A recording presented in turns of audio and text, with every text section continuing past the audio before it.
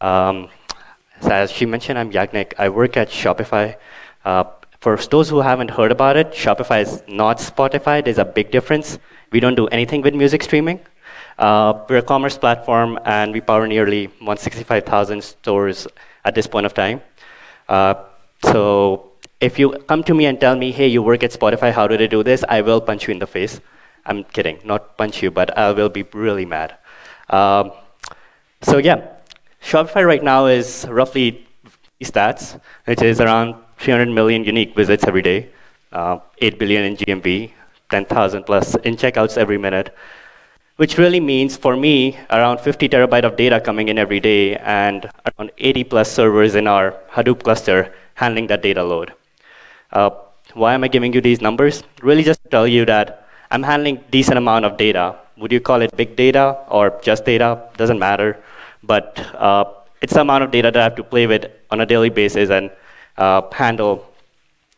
Uh, so while doing processing all this data and taking care of it, uh, we ended up going through what I like to call the path to data enlightenment.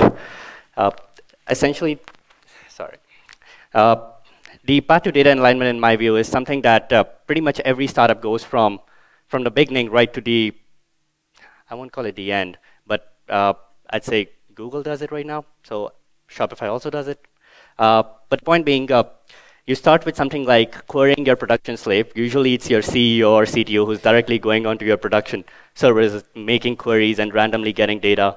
Uh, and then when they do that, it's all fine and good because you're really small, you're few people, and uh, it doesn't really affect your experience on the site or on the load or anything of that sort.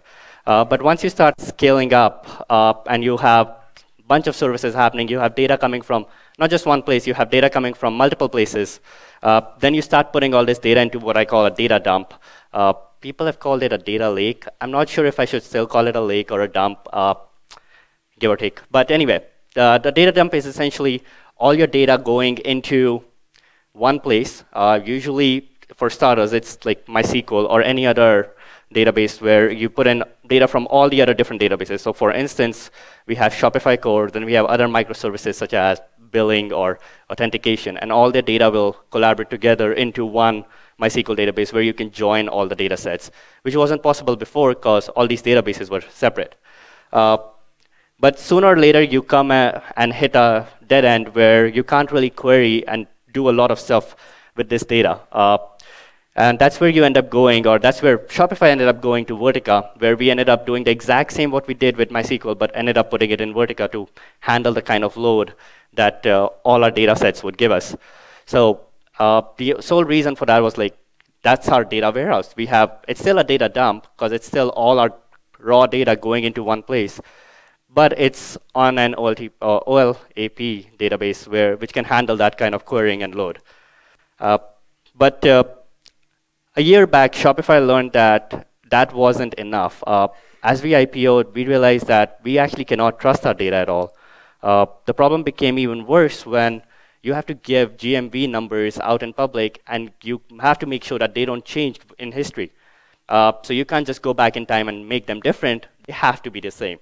Uh, and that's where uh, one or one and a half years back, Shopify decided to model its data sets, which is uh, we started using star schema, if anyone's familiar with that, or dimensionally modeling based on Kimball methodolo methodologies. Uh, and the idea was that uh, we need to be able to trust our data. When someone comes to me and asks me, hey, what's the number for GMV yesterday?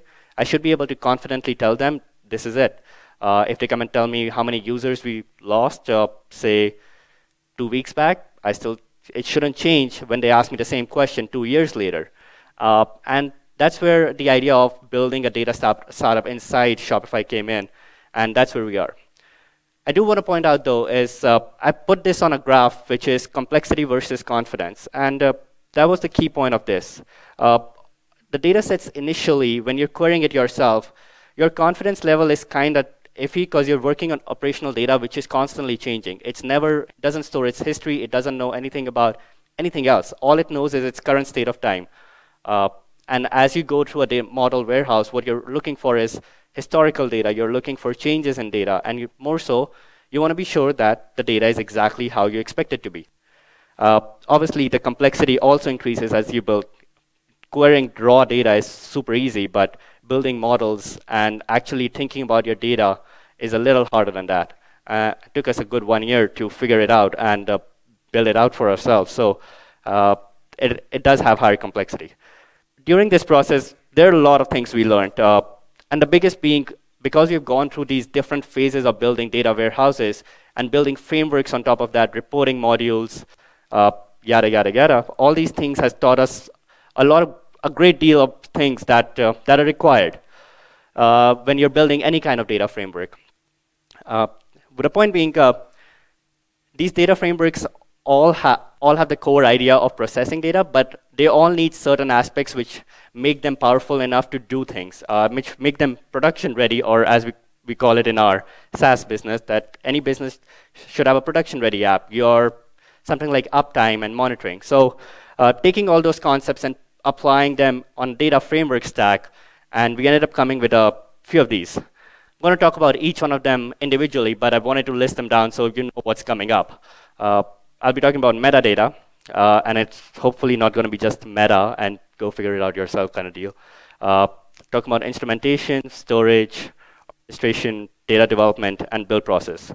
A uh, couple things I will mention in the middle, which are work in progress, uh, which is these are my ideas or these are Shopify's ideas, uh, but they're not hardened. they haven't they're, they're being battle tested right now. Whether or not they're good enough, uh, I can't really say that because we're still testing these things. And I'm pretty open to discussing those ideas and uh, get your viewpoints on that. So if you have any questions, feel free to ask me on those. Uh, so going ahead, metadata.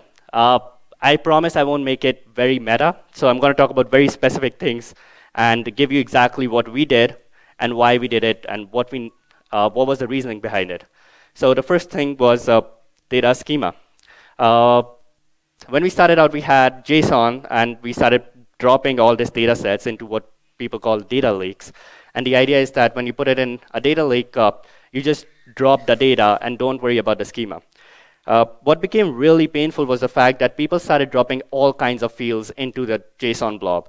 Uh, things that didn't actually even make sense just because they could store it somewhere. Uh, and then we started enforcing schemas. So every time you drop any kind of data set, then uh, into HDFS or any kind, any storage that you use, uh, drop the schema with it. And what that schema has is all the fields at that current point of time, and then those the types of those fields. So essentially, whether it's an integer, decimal, date time, money object, uh, yada yada yada, uh, and uh, you would store that with the schema. I'm going to get into storage of this schema a little later. Uh, but uh, that's what the first part of the metadata is, to store the schema. Along with that schema set, we also started storing retention and privacy policies. Uh, being a public company, we had to follow a lot of rules and regulations around what all we can store and what all we cannot. And if someone asks us to come and delete their data, how do we handle that? Uh, so every schema set tells you whether this data could change in time because of some delete request or uh, how long this data is going to stay in HDFS before it's going to be purged permanently really depends on the data set of what kind of data you're using. So something like logs are probably going to remain forever, whereas something like uh, passwords are never going to come in and they'll be retracted under the privacy policy. Uh, next up is uh, operational metadata. I added these as fields so that these are the things that we, we started storing, but the, the thing I want to focus on is the reasoning behind it. Uh, what came up quite often in our past data systems up until the model data warehouse was when people were looking at reports, uh, they would often ask, is it actually up to date? Uh, how many records did you load last time? Or how, was, how were you doing these things? They were also started asking questions like, where are you getting your data from? Uh, I trust this data. And then when our uh, engineers and analysts came around, they were like, but I want to know which code actually generated this data set. And how do I know about that? And then finally, because we have multiple data products, which data product is actually dropping this data set? So the metadata for operational data sets was exactly those questions being answered by the data and by the system. The idea was uh, you give every detail of which source system was putting in, and uh, when it was built, how many input-output records you would put in, and then how can you, which at which point of code you could go back and rebuild that exact same data set knowing that it will actually build up and give you the exact same results. Uh, next up would be business meta, uh, metadata, which is uh, definitions, questions, uh, source, and uh, owners. This is purely for business users. It had nothing to do with engineers and analysts. It was for all reports that we had that uh, you could just go in and ask questions on the portal and it will tell you which reports match your specific questions. Uh, trying to be smart about, instead of a new manager coming in and asking for, uh, do I look for GMV or do I look for products? Do I look for shops? Instead, they could go to our portal and just ask in natural language, uh, I want to see how, many, how much that shop sold in the last uh, 10 years. And uh, it will get converted to the exact thing or the exact report that they need. So that's the kind of other metadata we started storing. What all this metadata actually was meant for was my happiness in the end. Uh, I'd say Shopify is pretty strong on uh, developer happiness. So I, that's why I'm saying it. They care about my happiness. And my happiness was this one chart. Uh, this is what we call overseer. Uh, the point of its existence is to help me tell what all data sets are there, what all their dependencies are, what are they dependent on, whether they passed or failed in a lost run, uh, whether they actually loaded any data set, and uh, how late or behind the data could be. Uh, this one thing tells me everything I need to know about the system at any given point of time, and all this metadata actually serves into Overseer, which is this graph. So as you can see, for example, I pointed out on one of the green dots, which is that job passed. It's uh, channel transition facts, uh, and it tells me a bunch of metadata that I need to know at that point of time. But it could be expanded into a lot more in terms of doing this, uh, doing uh, any kind of analysis. Taking it a step further, though, uh, we also use it for impact analysis, where uh, if you make any changes in schema or in any kind of metadata, you know exactly which report it will end up impacting. And uh, uh, on our, in our case, we break CI and don't let the developer merge in or an analyst merge in any changes that would actually cause a breaking change into something else. Uh, so that's the point of uh, metadata. Next up, I got a single slide for instrumentation. Uh, I think that was, as an engineer, it's critical for me to know how are my systems running. Uh, and as data developers, we're pretty used to hard drives and network failures, a uh, bunch of issues on hardware level. So what we do at Shopify is uh, we instrument literally every little detail of hardware that's running. So uh, we know how much network I/O is happening, disk or memory I/O happening, whether something's spiking suddenly, whether something's dead. Uh, along with that, we also have service instrumentation. When I say service instrumentation, uh, it essentially means how a service is reacting. So in our case, we use Redshift, which is uh, for loading our data sets. So is Redshift behaving properly? How does its metrics look? Whether it's getting too much, too hammered. We don't have access to direct box, so we have to work with APIs. And, but the point being, every single service in your system needs to be instrumented. And finally, uh, job instrumentation. A job instrumentation could also be seen as the metadata just seen in real time. Uh, it's not dropped at the time of load, but it's dropped it's, it's being seen to you, shown to you while it's happening. So something like this is what one of our graphs looks like, where this is one of the operational or system uh, instrumentation. A job um, uh, instrument job instrumentation will tell you more more of what all jobs are currently running, how many data they have, how many records they have loaded yet, and then how many records are remaining, and how they're performing overall. So that would be instrumentation. Next up would be storage. So this was a this was a huge debate at Shopify. Initially, we started at uh, with Vertica and putting everything in SQL, and suddenly we're moving to JSON blobs. But uh, when we moved to JSON blobs and started using it with Spark, uh, it was pretty good. As a developer, I could see my data, but it was really painful for for the servers itself, uh, mostly because we were loading all that data sets, parsing it again and again, and it made it really heavy. So uh, what I'm going to talk about storage is what should, be, what should you be thinking about when you're choosing your storage format. Uh, in my case, I'd recommend Avro or Parquet, and I'm going to tell you why in either case. So first up is you want something that's uh, shareable across applications what that means is different types of data applications should be able to load that data and then also drop that data. Uh, Avro being a standard format, Parquet is a little less standard than Avro, but uh, there are two the differences that are pretty major to consider. Uh, next thing is fast to parse. So the idea is JSON is super slow to parse when you're loading from uh, disk every single time or uh, putting it on a net on a network uh, band, taking over your network bandwidth when you're moving it around. Whereas Avro is binary encoded, uh, which is fairly nice because it's super tiny. And when compressed, it could easily take care of your stuff. Next thing is uh, the wrapper should also worry about schema. So I talked about schema earlier, but how do you actually store it? Uh, my recommendation would go storing the schema inside the wrapper, which Avro does. Uh, and uh, what, what it does is, for every single file, it will store the records, and it'll also store the schema that all those records conform to. Uh, next up would be schema evolution. Uh, sorry, I am getting a little thirsty. But the point with schema, uh, schema evolution is your data is going to change. Every single time you load any new data, every single time you have any migration, every single time developer decides to change any event, uh, your data is going to look different. It might be something as trivial as adding a field, or it might be something a little more complex like changing the data type. Uh, and your library or your schema library should be able to handle that kind of evolution and be able to go from one to the other without making all the downstream jobs break. So schema evolution is something that Avro right now supports. A lot of other libraries like Thrift and Protobuf also supports that. But uh, in Hadoop land, Avro is probably the best choice. Uh, so what are your op options? Avro, Thrift, and Protobuf are all row-based uh, row-based uh, tools. And then uh, Parquet and ORC are more of columnar. Uh, the idea behind making it columnar is uh, it's much easier to actually run a query on it because when you're running a query on it, it won't load the whole data set, whereas it will only load a partial data set and therefore be a little nice to your machines and your memory.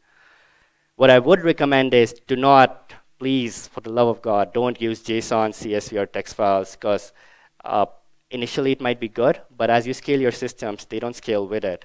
And uh, you need to be able to, you need something that scales as your data grows. Uh, next up is orchestration. By or orchestration, I mostly mean running workflows. Uh, Oozie is probably the standard right now, but Shopify had a ha had multiple experiences. We went from Luigi uh, to Azkaban, and now we're going to Oozie. And uh, the biggest uh, main point was be able to schedule stuff when data changes which uh, uh, something that Azkaban and I believe Luigi supports in, in a iffy manner, but uh, Azkaban doesn't, and Oozie does. When you're picking up anything that you're orchestrating, you should be thinking about whether it's event or time-based scheduling. Uh, the idea behind event is whether that event could be a data is dropped or an event, something that's coming from some kind of message bus. Or in our case, sometimes it's time-based. For example, our CFO looks for his reports at 7 in the morning every single day. So every single day, uh, there's a job at 12 which makes sure that all the data from yesterday is ready for him to look at at 7 in the morning. So support for both of them is extremely important. Next up would be notifications. Uh, for notifications, what you're, what you're looking at is uh, essentially whenever something goes wrong or something's going haywire, uh, it should tell the person responsible to fix it or to look at it. Most dev workflows now have some kind of notification or failure emails. But if you could have something smarter like, I'm not loading enough number of records, uh, then that would be something even more awesome. I don't believe anything out there that tells you something like that. But uh, for failure notifications, pretty much all of them do that. And lastly, uh, metrics and logs when we were initially looking at things, no one really cared about metrics and logs that much. They were like, eh, we'll worry about it when we need it. But uh, logs are critical when you're building data sets and data products. Uh, knowing how much data you're lo loading, knowing uh, what all is happening in your current data product or current application is critical to any data engineer. And uh, you should think about, when you're picking up an orchestration system, you should think about both metrics and logs uh, and whether it supports it or not. This is probably, probably my favorite slide because this is what I care most deeply about. Uh, it's small, it's just one, but uh, matters the most to me. When you're building a data product, uh, don't just care about your data, care about who's going to work with it, uh, who's going to be building on it, both analysts and engineers, and uh, how are they going to work with it. So for in our case, and what we made called Starscream, uh, which is our framework, uh, Starscream has a bunch of things in it which allows uh, happy developers, or I hope they're happy. Uh, and uh, some of the things are impact analysis, which is what I showed you earlier. Overseer is an impact analysis tool. And what it does is read all the metadata, knows about when things are going to break, and notifies you before you break them, as opposed to most data products where you will find out after you broke something that you broke it. So uh, some, have something which allows you impact analysis and uh, tells you in, on CI whether that's possible. Next up is CI. Uh, I'm giving an example of Shopify and Starscream. Uh, we run on Spark, and every single transformation that we do on our data is actually tested uh, in continuous integration. So we are uh, testing on how whether that data is going to pass or not, whether it's allowed or not, whether it meets our standards or not, and uh, should be part of your data product. Next one is probably the hardest thing that came out of our experience. Uh, every time a data engineer was building something, they would either work with a very small subset of data, which is not representative of the actual data profile uh, locally, or they would be working on the whole Hadoop cluster and taking over resources because they want to run some job over every single page view that happened on Shopify. Uh, what we realized was that if we could somehow deterministically bring, bring down a set of data and then let developers use that, then they could just set a percentage and then we would call the data. So the idea is uh, you give it a percentage and then you, what you get back is the actual profile of the data being pulled down to your local machine, uh, which, which is representative of what's on the production servers. So for example, uh, if I have page view fact or page views of Shopify, and uh, they're highly biased towards certain pages, then the culled data would should also look high, highly biased to that data set. And how we do this is uh, we store we run a job which basically creates ratios of culled data present for you, and you could just download those. So uh, what it would do is uh, go over the whole data set, get its profile and how every field looks like, uh, and how often that field is seen, and then take certain ratios, so 1, 10, 50 percentage, and uh, get those ready in HDFS every day so that you could just download that data set and build with it. A step further with culling is you never work with a single data set. You're always joining different data sets. So what you could do, uh, what, what you could do a step ahead is if you give it a job, it knows all its dependencies and gets all the data sets in a culled manner, which will join how you expect it. So that's the next thing that we did where we could, you give it, say for instance, a fact building job about admin page views, which requires page views, it requires user details, it requires shop details. Uh, and what culling will do is go into every single data set and uh, look at how they join and pull it down for your local machine, for your developer to develop. Uh, after that uh, comes reconciliation. Uh, most people, at least uh, in my experience at Shopify, uh, every time we had data products, we would just change things and change the data with it. But once we became, uh, once we started modeling our data and we went public, we couldn't really just change our data hoping that nothing else would change. We needed to be sure that any, anytime you make any code change, it will not cause change in the data sets that's not expected. Uh, so someone in the finance team joked about and called it an RDD, which is an abstract layer of Spark. Uh, but what it from our perspective, it means is reconciliation develop, uh, driven development. The idea is every time you make a code change and when you push it to GitHub, uh, a bot will go and run your job and run the same job on master uh, and see if the data is changed where you expected it to. So in our case, what the, what the command really looks like is reconcile job one, and I expect only column one to change. And what it will do is uh, run both the data sets, compare completely, and then make sure that only one column changed. And finally, uh, error reporting. Uh, at Shopify, we decided to differentiate between filters and rejects. Uh, I'm going to go a little bit into it. This might be, I, would say this might be a, a, little dicey of a topic because uh, there were stronger arguments there, and I'm guessing there'll be strong arguments here. But uh, every time you, in our, in our data sets, you can not just filter your data, you could also reject your data, which is things that I know that are crap, and I'm going to get rid of it early on. Uh, which is, whereas filter is just, I'm going to get rid of it, but there's no good reason. Rejects are actually stored separately with the job, knowing these, this is the reason that I don't like the job, uh, don't like the data set, I'm going to get rid of it. Uh, some people have argued that one or the other is not required. Uh, we can talk more about it if you feel strongly about it, but uh, that's what we do right now. Um, next up is uh, build process. This, this is work in progress. We're still trying to figure it out, but uh, I was mentioning to someone when I was talking about presenting here that uh, incremental and full builds is something that's uh, very much in talks in the, Hadoop, in the data ecosystem right now. When I talk about incremental, what I mean is uh, you only look at the data that has changed from the last time you looked at the data. So it's only diff logs or only change sets. Whereas full build is you can assume that every time you process your data, you will get the whole data set and you're going to look at it completely.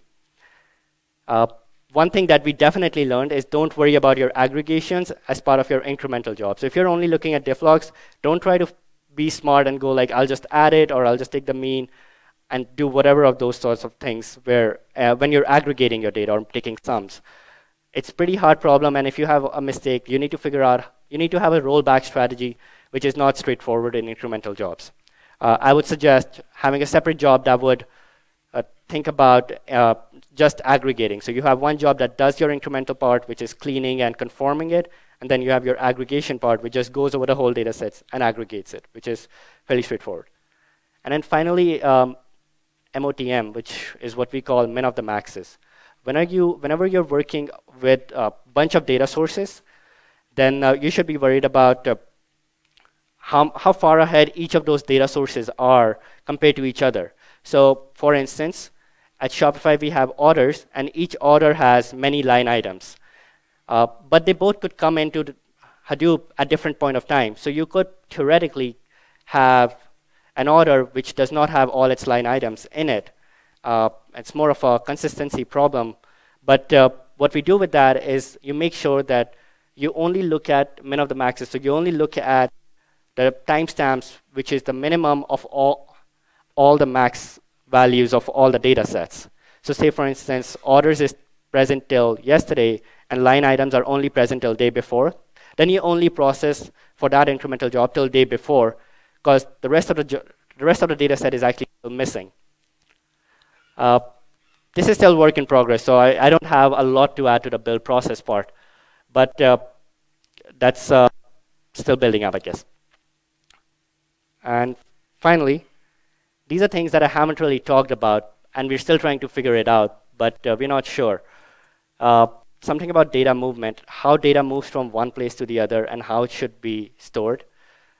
Uh, we're using HDFS right now, but it might be a better idea, and it might be a better idea to think about another way of storing these data sets or moving them from our source data, which is Sqoop, or in our case, custom built solution, uh, to something else. And people have talked about Kafka and streaming, but uh, data movement is something uh, I believe right now is highly dependent on the company you're in, what's your SLA, and how much you're looking to, or how early you want that data. Uh, second is data quality. Personally, I feel that building multiple frameworks for data quality that would evolve with the company. I, we haven't come up to a solution which is which would be ideal for building a data quality framework, which could also evolve as your data products evolve. Uh, I'd love to hear your ideas if you have any. And uh, finally, partitioning. Uh, that's, uh, again, something that's left to the company and how you query your data. You could partition on date times, but I've seen, in our case, we also partition on shops. Uh, that's, again, very specific to the kind of queries you're running. So I won't talk about that. Uh, that's mostly it at this point of time, I'll open up the floor for questions, anything that I could answer.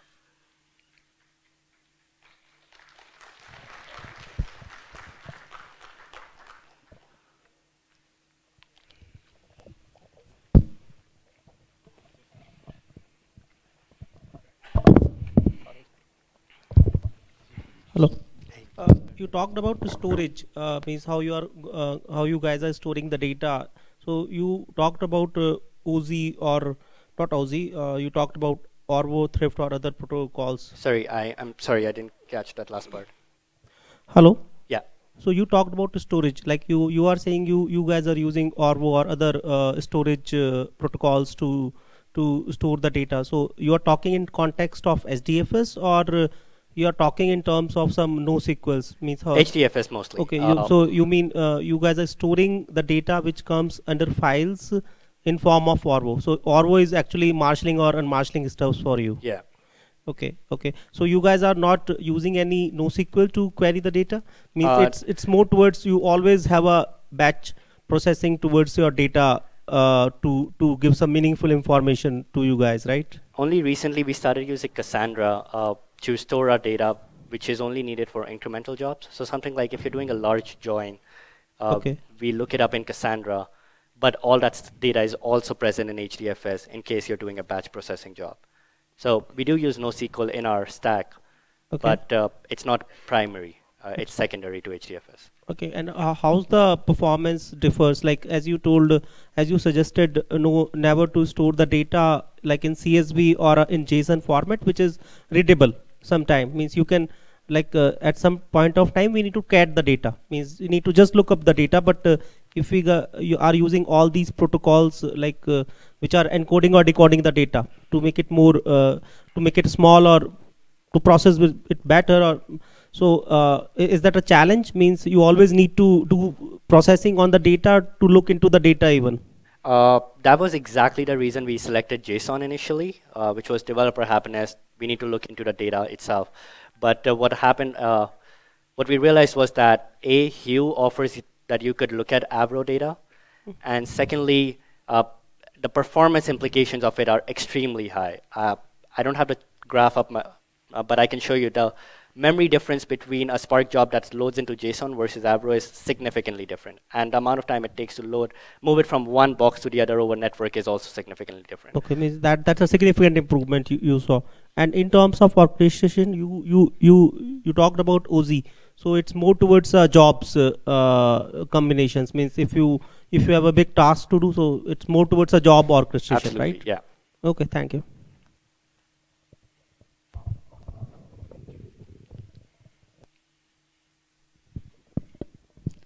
Any other questions? Hi. So you talked about representative data. Uh, so can you bit explain more? Sorry, uh, representing data in yeah, means you were telling about that representative set from the uh, actual set. If you have a uh, very big data set, you want a representative set from that, right? Right, correct. So, um, okay, uh, let me put it better. Give example of page views. So, say for instance, you have 100 million page views happening in an hour, uh, and uh, when you have those 100 million page views, uh, you can't, ex- or in our case, it's it's a lot more. But in general, page views is a pretty high, big data set, uh, and uh, you can't expect your analyst to always go on production machines and run their jobs on the whole data set to see if it's working. So what we realized was that what we needed to give an analyst or an engineer is the ability to get that same data set locally, but it can't be the whole data set. I can't ask them to download a terabyte every day. What I want them to do is get a gigabyte, but that gigabyte should be very much representative of the data. Uh, and when I say representative, the profile should match. So uh, the number of null values, how often a page is seen, those should still relatively be similar, or the probability of them being different is very low. Uh, so what we wanted, the idea with culling was that you deterministically figure out how the data looks, and then also give a percentage. So like, I, as an analyst, I could say, I'm gonna work with 10% of this data. So I give it 10% and cull it, and it will go look at the whole page views, look at its profile, and then select rows that match the criteria, and then download it on the local machine. So we run this job on a, a- on a daily basis for our critical data sets, so something like GMV or orders, which are pretty high, and then we will store it on a daily basis for 1% of the data, 10, 25, 50%, and then an analyst can start with just working with 1%, build their job, and then go, go from that to testing it on 25%, making sure they caught all the assumptions, testing it on 50%, and then we let them run it on production to make sure that they got every edge case that possibly existed in that data set, and all their assumptions are still valid. Uh, so that's the idea behind culling. Okay. Uh, is this offline processing you do? Means, is it how much time it takes it takes to do the culling? Uh, it depends on the data set. So something like page views would probably take a few hours, whereas uh, something like shops would probably happen in like 15, 20 minutes. Okay. Thanks.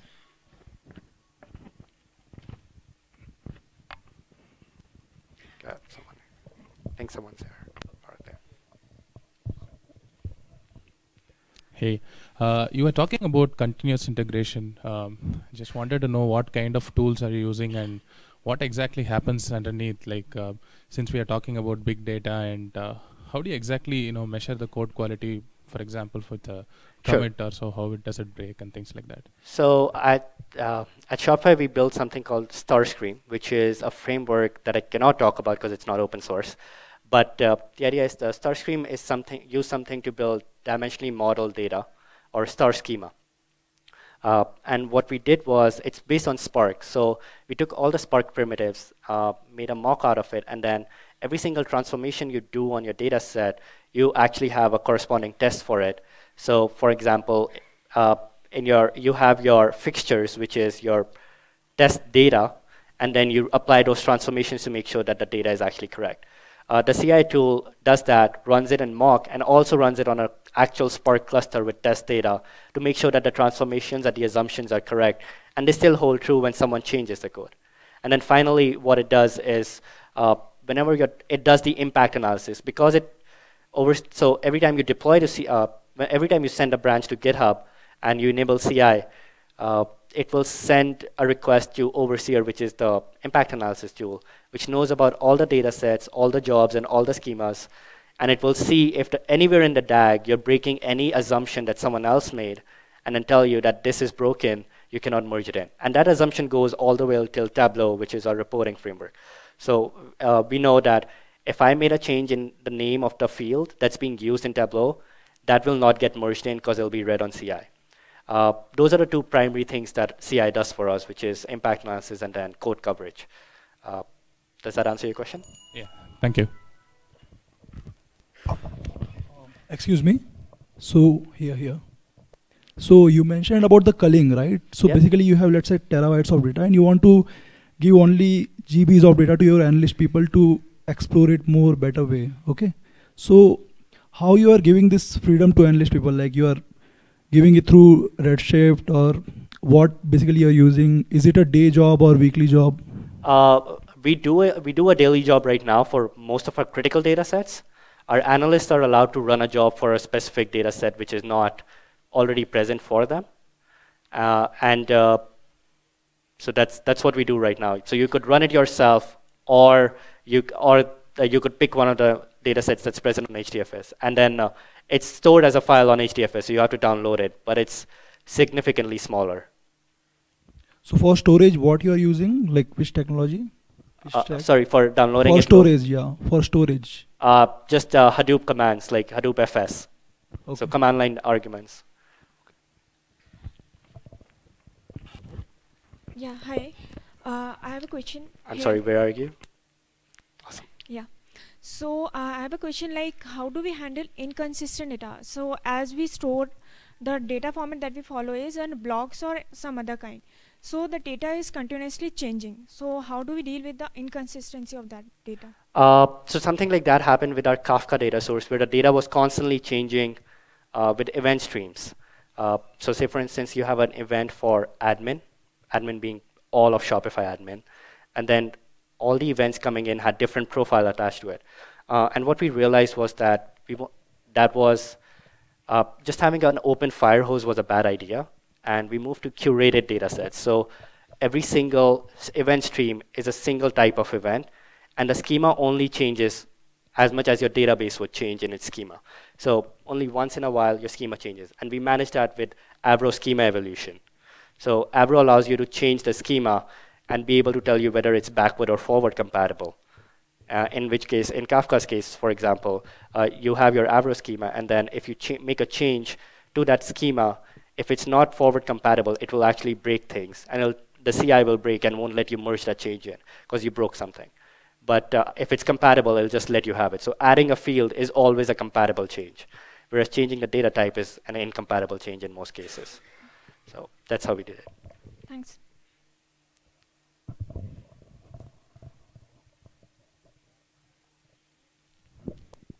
We have time only for one more question.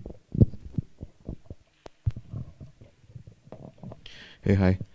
Um, so I have uh, basically two very quick questions, um, specifically from a monitoring point of view, Mhm. to see if everything is working fine and things like that. Do you have an in-house custom solution which you have built for monitoring? Sorry, or do, do I have an in-house what? for monitoring in in-house solution? We use uh, Datadog, uh, which is graphite based Okay, uh, for monitoring. So it's for real-time monitoring, that is. right. Uh, along with that, we use Splunk for our log monitoring. Okay, Uh, so uh, that's it. Like our code base sends events to those things. okay. And um, for visualizations, Uh, again, Datadog Datadog, is okay. like they present a visualization library. Okay. thanks a lot. Sweet. Last question. Two more minutes.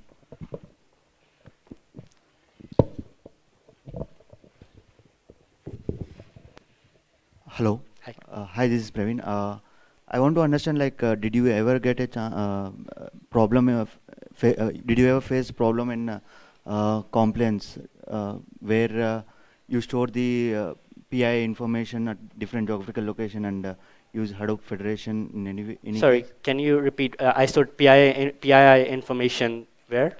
So the concept of Hadoop Federation, did you use or any other methodology you have used? Uh, we have been looking at it, but uh, we haven't implemented anything for Hadoop Federation. We just handle it at the time of loading. Okay. Uh, so we have a custom, instead of Sqoop, we have a poor man's Sqoop, which what we call Longboat, and we built it in-house. Uh, so we have PII data, hap- like PII control happening at that layer itself. okay. But right now we don't use anything on Hadoop side. Okay, but how do you manage to use that data to show it uh, to the whole uh, geography? So we have a central service for PII, which tells us what all what all rules are applicable for private data, Okay. and uh, whether that data has been removed or not. So we already are aware of deletes in our data set. Uh, things we need to care about is something like an email, or sorry, something like a phone number, which needs to be retracted. So you're not allowed to store the whole phone number. You're only allowed to store the area code. Uh, Okay. So we have certain rules in our. We have a separate service which manages different rules and knows about different kinds of PII data. Uh, so we hit that service and we ask it whether this field needs to be PII compliant, and if yes, then what kind of rule or uh, retracting logic do we need to apply to it? And uh, you give it the field, it'll apply the retracting logic, and then you store it into HDF, uh, into HDFS. Yeah. Okay. Does that make sense? Yeah, I got it. Uh, I, I feel this is a I'm, custom I'm solution. really sorry, but I'm going to have to cut you. Okay. And please take this offline. Sure.